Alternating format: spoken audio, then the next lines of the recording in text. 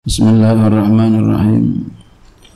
الحمد لله رب العالمين وبه نستعين على أمر الدنيا والدين والصلاة والسلام على أشرف الأنبياء والمرسلين سيدنا وحبيبنا وشفيعنا ومولانا محمد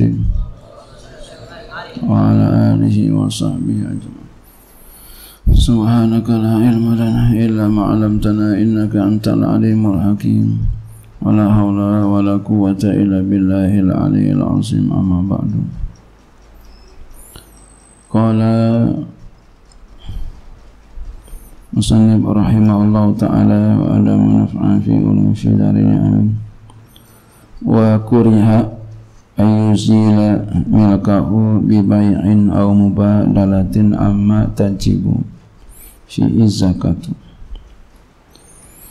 Wa kuriha dan dimakruhkan.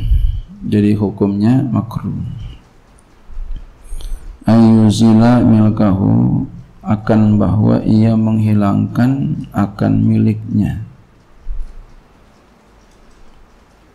Bibayin dengan menjual.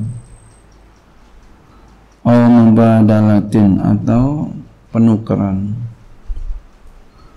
ana daripada sesuatu tajibu yang wajib fihi padanya pada sesuatu itu az-zakatu oleh zakat.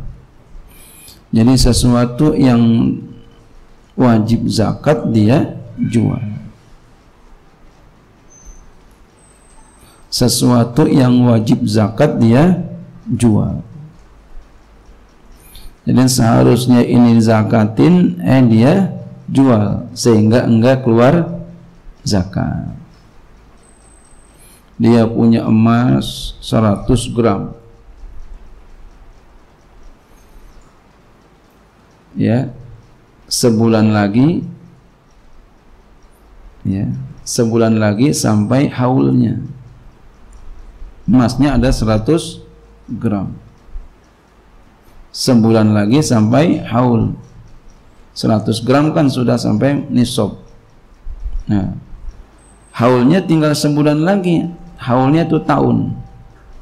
Karena ya di antara syaratnya mengeluarkan zakat itu sampai haul tahunnya setahun. Ketika pengen setahun ya sebulan lagi dia jual tuh ya, dia jual atau dia kasih. Ini mubadalah dengan cara menukar. Ya dikasih lalu orang apa gitu ya uh, ditukar ya atau juga dikasih. Dihibahkan umpama. Ya. Udah mau sebulan dikasih atau dijual kepada orang ya, dijual atau dikasih kepada orang. Atau dikasih juga bahkan kepada istri. Neng abang bagi ama neng. Ya. bukan dijual dah umpama. Ya. dikasih ke istri. Ini kan ada 100 gram abang bagi neng 50 gram Emang apa bang? Udah diam aja.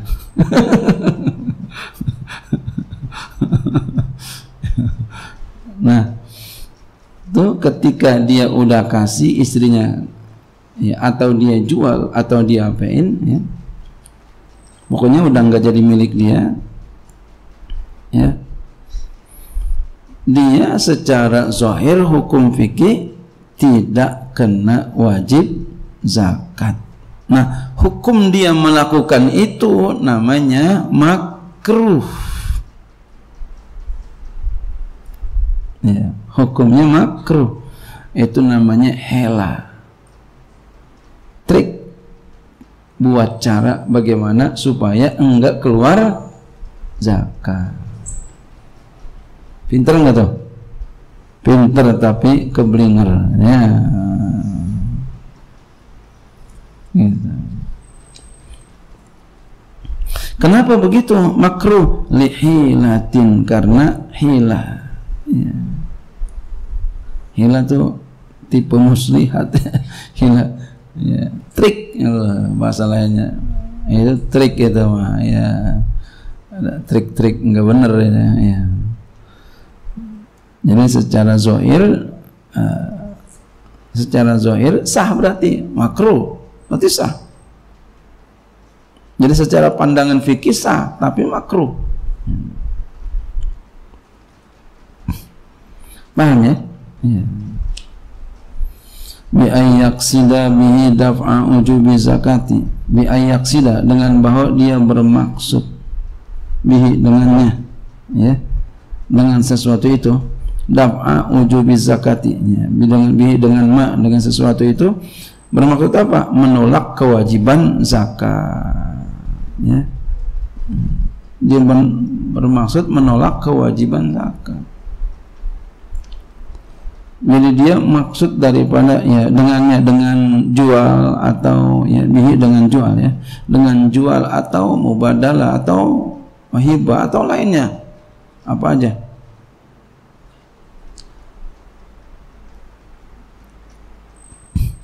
ya, menolak kewajiban zakat itu menolak kewajiban zakat Kenapa li firarun minal kurbati karena bahwasanya dia lari daripada kurbah. Kurbah berdekat diri maksudnya ibadah. Dia lari daripada ibadah kepada Allah. Jangan begitu. Ya jangan begitu. Kita punya duit. Sedekah. Mana mauan punya duit banyak tapi keluar wajib zakat. Keluar keluar duit banyak dan kita ngeluarin duit banyak. Ama enggak punya duit. Ama kagak punya duit. Enggak ngeluarin zakat sih tapi enggak punya duit. Mana mana mauan mana mauan punya duit banyak dan kamu ngeluarin zakat. Ama kagak punya duit. Nggak ngeluarin zakat sih tapi nggak punya duit. Duitnya dikit ada sih man dikit duitnya. Nggak sampai ngeluarin zakat. Mana mauan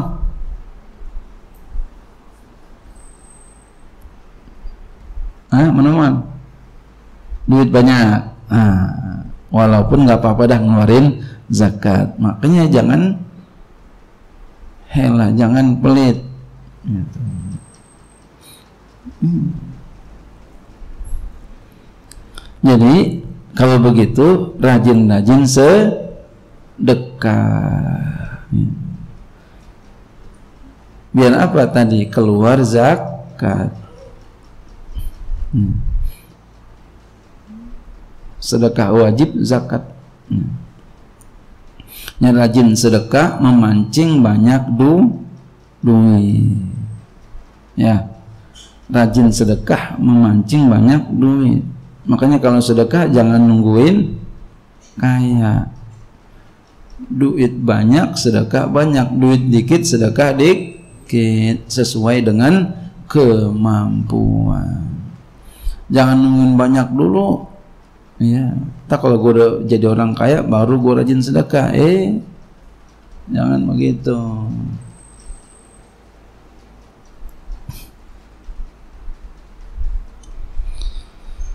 Wafil wajiz dan dalam kitab al wajiz ya harumu hukumnya haram. Jadi berbuat seperti itu tadi itu helah tadi hukumnya haram. Hmm. Itu Allah pengen ditipu. Allah pengen ditipu.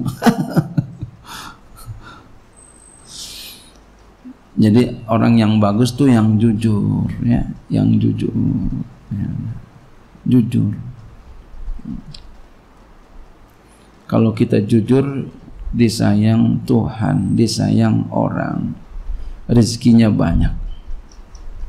Ya, rezekinya mudah. Jujur wazada dan menambahkan ia Imam Ghazali fil ihya dalam kitab ihya wala yubri'ul zimmatu batinan tidak terbebas oleh tanggungannya itu secara batin Masya Allah tadi kan dia wajib zakat. Kemudian dia hilat tadi dia jual atau dia kasih bininya duitnya apa uh, emasnya umpama dikasih bininya. Secara zohir dia enggak wajib zakat. Tetapi secara batin dia masih berkewajiban. Hmm.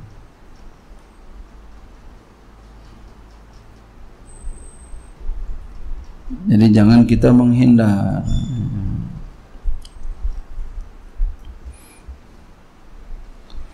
Wa inna hadha minal dari dan ini dan sesungguhnya ini di antara fikih yang bahaya. fikih bahaya nih. Jadi rupanya ada fikih yang bahaya. Ya. Jadi ada fikih yang bahaya. Berarti pada ini ada fikih yang bahaya. Berarti ini produknya, ya. ini produk berarti produk. Kalau orangnya fikih bahaya, orangnya ada yang bahaya nggak ya? Sama juga berarti ada juga fakih yang bahaya. Ada fikih yang bahaya produknya. Berarti ada juga fakih yang bahaya. Nih ulama-ulama su. Nah, jadi itu fakih yang bahaya. Ulama su. Makanya kita jangan pinter doang. Pinter tapi soleh. Pinter juga soleh gitu. Pinter juga soleh. Sehat dari sekarang binanya. Pinter soleh dari sekarang. Ini haram nggak mau ini jahat nggak mau ini merugikan orang nggak mau. Nah, nanti Allah kasih jabatan. Nanti Allah kasih jabatan. Wali itu jabatan. Wali itu jabatan. Wali itu macam-macam ada yang paling ada yang rendah paling rendah ada yang naik lagi di atas. Paling tinggi wali kutub ntar dikasih jabatan. Nah, dari sekarang minatnya. Bukan ntar ada tuan dikit baru bener. Eh. Maksiat dulu. Nggak dapat nanti. Ya, jangan berbuat maksiat ada wali itu maksiat dulu eh, itu seribu hantu eh beliau bisa begitu. Oh kita belum tentu. Hmm. bina dari sejak dini. Nabi aja sejak dini. Nabi aja sejak kecil dibangunnya. Sampai nabi disebut dengan apa? Digelari al amin dari sejak kecil. Nabi kita sebelum lahir ya. Harus benar-benar harus benar-benar kita dari kecil banget dari sekarang. Nabi sejak kecil jadi Nabi. Man asyraqat bidayatuhu asyraqat nihayatuhu. Ya. siapa yang udah bersinar di masa muda masa tua semakin bersinar. Dari sekarang bersinarnya jangan entar-entaran jangan. Ya, kita sesama teman saling menghormati, menghargai, menyayangi. Ya, apalagi amal guru, orang tua itu dijaga. Takziman wa ihtiraman dijaga. Dijaga, dijaga. Nah, biar nanti Allah pantesin kita untuk menduduki jabatan-jabatan ilahiyah ukhrawiyah. Jabatan ukhrawiyah. Kalau jabatan duniawiyah Pak RT Pak RW ah itu tuh. Pak Camat Pak Lurah itu jabatan duniawiyah Iya. Bisa nggak Pak RT, Pak RW, Pak Camat, Pak Lurah dua jabatan? Bisa saja kalau dia melakukan. Ya itu. Dia gunakan jabatan duniawinya buat ukhrawiyah. Bisa aja. Man jarang yang begitu. Bisa saja. Nah, beliau mengatakan ini adalah di antara fikih yang bahaya ini bahaya. Ilmu yang bahaya. Paham fikih itu paham paham yang bahaya. Jadi hati-hati. Jangan salah menggunakan. Sama dengan pisau. Pisau nah, menggunakan untuk apa? Jangan salah gunakan. Buat motong bayak bawang bagus. Motong cabai bagus. Motong sayuran bagus. Motong pohon bagus. Melukai orang ah, bahaya fikih sama begitu ya. Waqala Ibnu Salah berkata oleh Ibnu Salah ya, Syekh Ibnu Salah mengatakan ya sama biqasdihi. Ibnu Salah ini beliau seorang yang bermadhab Syafi'i ahli hadis. Ya. ya. Ahli hadis. Cerita tentang Imam Ibnu Salah. Saya punya guru, guru saya ya. Dr. Mashhuri Naim beliau cerita tentang Imam Ibnu Salah. Jadi kata beliau beliau ini Ibnu Salah ini ya namanya Utsman Ibnu Salah. Adalah ulama tiga zaman ulama tiga zaman. Bagaimana tuh ulama tiga zaman? Jadi ngaji beliau. Ngaji nggak dapat dapat tapi beliau setiap malam begadang. Begadang bukan ngobrol. Begadang ibadah. Ngaji nggak dapat dapat oh tapi ngaji terus. Nggak berhenti. Iya. Ngaji terus. Kemudian sampai ya giliran uh, berpindah zaman. Berpindah zaman yaitu zaman anak temannya. Sekarang dia ke zaman anak temannya. Jadi sekarang uh, kawanannya kawanan grupnya oh, bahasa kita grupnya kawanan anak-anak temannya anak-anak temannya ngajinya. Temen itu udah udah jadi ulama. Udah tinggi. Udah hebat. Ya. Sampai ketemu ya berpindah lagi tuh. Anak temennya udah hebat. Udah jadi kiai juga. Udah lulus. Ganti zaman cucunya. Itu kira-kira sebentar apa lama cucu kira-kira berapa tahun tuh ya Orang kalau punya cucu biasanya umum, umumnya ya kalau dia kawin cepat 45 dah ya udah punya cucu. Oh kalau udah ngaji bukan 50-an dah ya. 50. 50 60 dah ya. 50 60. Ya. Di zaman cucunya. Suatu saat kata cucu temannya, mungkin engkong kali ini bahasa kita nih. Engkong ya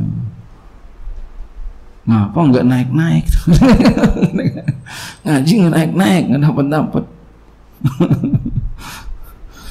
beliau dikata gitu ya nah udah sama cucunya ketemu cucunya cucu temannya.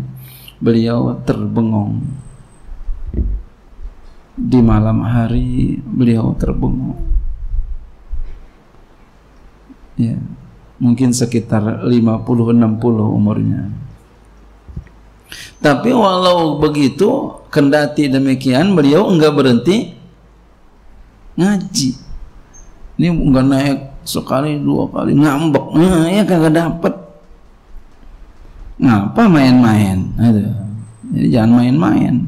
Yang main-main enggak dapat main-main gagal Ya, kalau kita main-main gagal. Kayak sembayang main-main batal nggak? Batal. Samping lagi sembayang usil. Batal nggak sembayangnya? Batal. Jadi kalau kita main-main, cita-cita kita bisa batal. Jangan main-main. Serius. Hmm ya bercanda wajar wajar wajar saja itu. Boleh boleh saja ya. Ya. Ah, kemudian beliau ter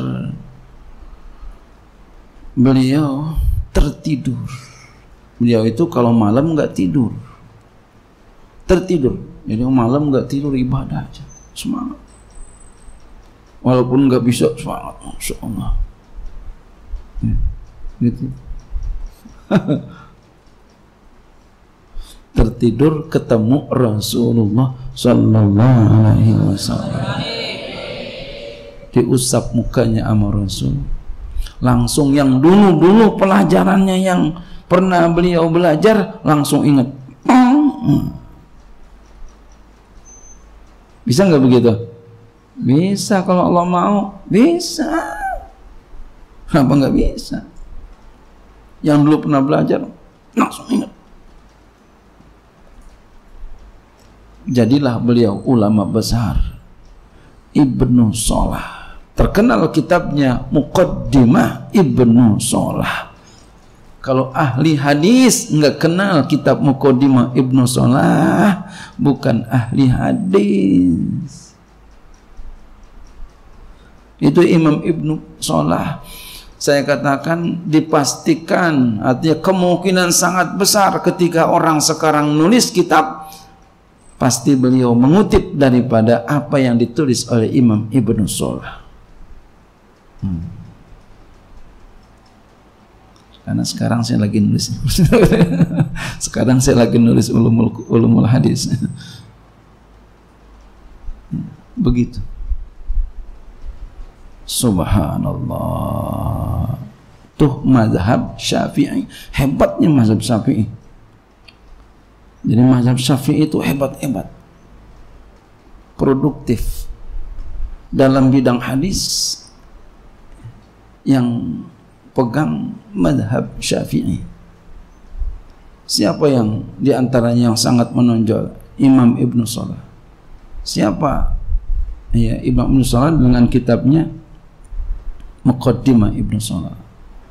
Siapa lagi? Imam Ibnu Hajar Al-Asqalani dalam kitabnya Nukhmatul Fikri.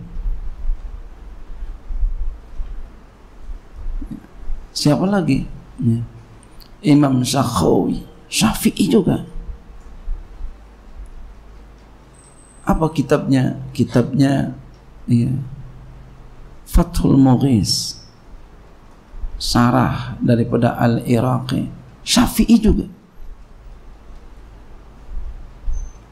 kemudian ya, kemudian di bawahnya lagi yang terkenal siapa? Imam Suyuti. Subhanallah. Dalam kitab Alfiyahnya. Hebat-hebat hebat-hebat ulama-ulama syafi'iyah. Yang terkenal itu. Imam Ibnu Hajar Al Asqalani terkenal. Ya, dalam di antaranya dalam bidang usul hadis apa ulumul hadis atau qawaidul hadis mustalahul hadis namanya banyak subhanallah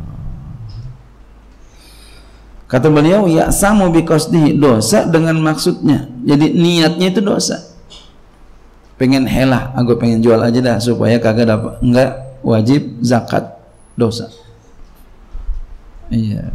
Emasnya ada 100 gram dia jual. Supaya kagak dapat enggak wajib zakat dosa. Itu niatnya dosa. Atau dikasih bininya uh, enak banget kan kasih bini neng buat neng apaan bang ini duit emas 50 gram Alhamdulillah kata bini. Cakep sih alhamdulillah itu. Mengapa bang? Pegang aja udah ya. Jangan ngomong-ngomong. Mengapa? Malu. Tahu malu juga. Fi'lihi tidak dosa dengan perbuatannya. Kenapa? Karena secara fikih boleh. Secara zahir nggak apa-apa. Nah, secara zahir nggak apa-apa tapi secara batin uh, dosa. Jadi kita begitu zohir batin supaya jangan berdosa. Ya, zohir batin jangan berdosa.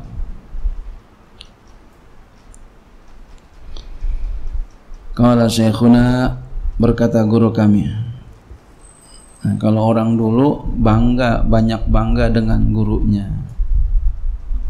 Iya. Orang sekarang jarang kalau syekhuna. Iya.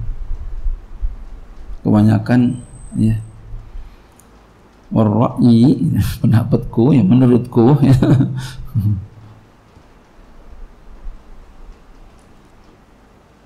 Ini orang-orang dulu, ulama-ulama dulu sangat bangga dengan gurunya. Kata guru saya, Qala syekhuna di kitab-kitab itu. Jadi kitab-kitab. Kalau secara orongan umum sih banyak ya. Tadi kitab-kitab nulis. Qala syekhuna berkata guru kami ya. Amma law qasadahu la li ilatin bal li hajatin walil firari fala Amma adapun lau qasadahu jikalau dia bermaksud akan dia dia bermaksud akan jual tadi umpama. La ilatin bukan karena ilah bukan karena trik-trik tipu muslihat bukan kayak seperti tadi bukan. Ya karena hajat bal li hajatin bahkan karena hajat ya umpama dia pengen ngawinin ya perlu dijual emasnya gitu. sehingga kagak wajib zakat gitu aula'a atau ada baginya eh, atau ada baginya bagi hajatnya ada bagi hajatnya baginya bagi karena hajat atau karenanya karena hajat itu. Aula atau karenanya karena hajat. Walil firari dua berarti. Dan karena untuk lari. Nah ini ada ini dua niatnya ada hajat, ada lari juga daripada kewajiban zakat. Fala karohata, maka enggak makruh.